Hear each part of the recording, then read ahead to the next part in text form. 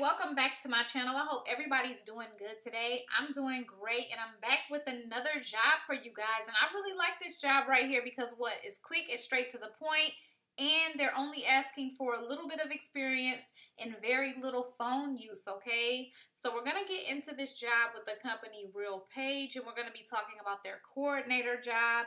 I'm going to go ahead and get straight into the details of the estimated pay and according to Glassdoor salaries.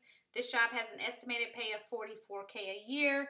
Not a whole lot, but not too bad, especially if you're not going to be talking on the phone and things like that.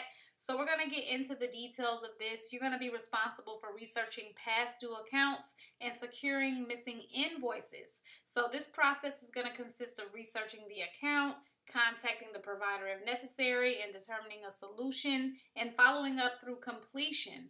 So you'll be researching and securing provider missing bills, researching a past due on an account and resolve, and researching any provider questions regarding bills, past due, credit, or other issues.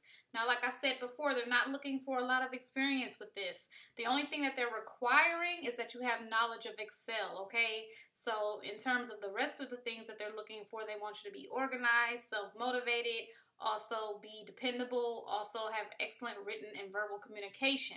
Now, if you have customer service experience, that's great. They do prefer that, okay? So, on top of everything else, this job does have a quick application. Once you enter in your email, it'll take you to the application, and I did look at it.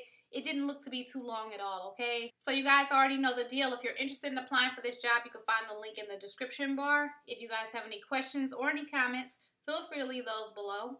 And as usual, I appreciate you guys so much for watching. I'll see you in my next video, and good luck to those who apply for the job.